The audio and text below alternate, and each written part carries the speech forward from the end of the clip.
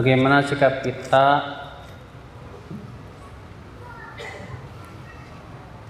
pada orang yang menganggap bahwa kita lah yang mengurang-ngurangi ajaran Islam? Gara-gara kita menganggap ini bid'ah itu bid'ah. Pak. Sesuatu yang bukan dari Islam sama sekali kemudian ditambah-tambah itu namanya bukan mengurang-urangi Islam, Pak. Tapi memurnikan is Islam, membersihkan namanya. Sekarang kita bertanya kepada orang yang berbuat bid'ah itu. Bid'ah kamu itu munculnya tahun berapa? Kapan? Ada nggak di zaman Nabi? Kalau dia bilang nggak ada sih. Ada nggak di zaman sahabat? Nggak ada sih. Ada nggak di zaman tabiin? Nggak ada juga. Tapi nenek moyang saya, bapak-bapak saya sudah melakukannya, kok nggak ada yang mengatakan itu bid'ah? Kita katakan lebih tua mana kamu dengan Ibnu Hajar? Nenek moyang kamu dengan sahabat lebih tua mana? Bapak-bapak kamu dengan Imam Syafi'i lebih tua mana? Ya tuaan sana lah. Kalau mau tua-tuaan pak, ya tuaan para sahabat. Seharusnya kita melihat agama kita ini, lihat ada nggak contohnya di Rasulullah dan para sahabatnya dari para tabiin, tabiut tabiin dan salafus saleh. Imam Syafi'i termasuk salafus saleh. Imam Ahmad termasuk salafus saleh. Maka dari itulah ya akal Islam azani Allah ya. Kalau kita mengatakan, Pak, ini perkara bid'ah, harus kita jelaskan dalilnya ini, hujahnya ini, alasannya begini, begini, begini, begini, begini. Sebetulnya sih, sebetulnya Pak, itu mempermudah kita. Saya mau tanya sama Bapak. Mana yang lebih mudah? Melakukan atau meninggalkan? Hah? Mana yang lebih mudah? Melakukan apa meninggalkan? Yang lebih mudah melakukan apa meninggalkan? Melakukan lebih mudah. Melakukan itu beban, Pak. Meninggalkan itu meletakkan beban. Kalau kita katakan jangan lakukan ini, alhamdulillah ada beban yang kita bisa tinggalkan. Mudah kan? Makanya kenapa para ulama memberikan kaidah? Ibadah pada asalnya tidak boleh. Sampai ada dah? Karena ibadah itu beban. Dan pada asalnya manusia tidak diberikan apa? Beban. Maka dari itulah ya Bapak sekalian justru dengan adanya bid'ah bid'ah jadi susah orang Pak ada orang sholat Allah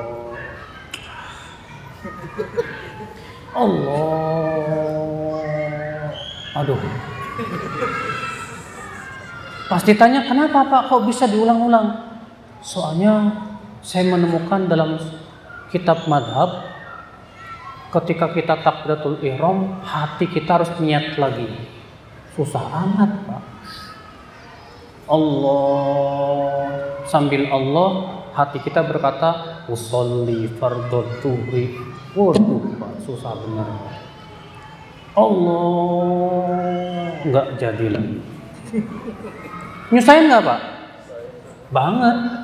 Rasulullah nggak pernah melakukan itu. Rasulullah mudah salatnya. Allahu Akbar. Selesai. Ada orang pak saya pernah ketemu sama orang tua dia berkata pak saya nggak nggak sholat tuaf. Kenapa pak? Belum apal niatnya. La ilaha illallah.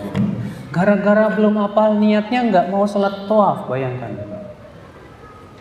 Nyusahin nggak pak? Padahal cuma niat doang selesai di hati. Saya mau sholat tuaf selesai. Nyusahin namanya pak. Justru bid'ah itu nyusahin sebetulnya pak. Ya nggak pak? Coba pak adanya perayaan-perayaan selain Hari Raya Idul Fitri dan Idul Adha. Maulid Nabi, Isra Mi'raj, setiap maulid Nabi berapa ratus juta harus dikeluarkan. Belum lagi Isra Mi'raj berapa ratus juta harus dikeluarkan. Belum lagi tahun baru berapa ratus juta harus dikeluarkan. Bayangkan kalau itu buat bangun masjid, Masya Allah. Buat bantu fakir miskin, Masya Allah. Ya. Berarti kita nggak cinta Rasul. Cinta Rasul itu bukan seperti itu caranya, Pak. Masa cinta Rasul cuma setahun sekali? Cinta Rasul itu dengan cara setiap hari kita apa? Mengikuti syariat beliau, sunnah beliau, gembira mempelajari sunnah-sunnah Rasulullah SAW. Itu cinta namanya. Ya. Ikhwata Islam, azan ya Allah maka dari itulah saudara-saudaraku sekalian, ya. Jadi sebetulnya kalau kita mengikis bid'ah itu sebetulnya memberikan kemudahan. Ya. Saya mau tanya sama Anda. Dan tolong tanyakan ke polisi. Mana yang lebih berat? Yang merubah peraturan atau yang melanggar peraturan? Hah? Kalau ada orang lampu merah maju terus. Pas ditanya sama polisi, kenapa kamu maju? Dia bilang apa? Saya peraturannya beda pak.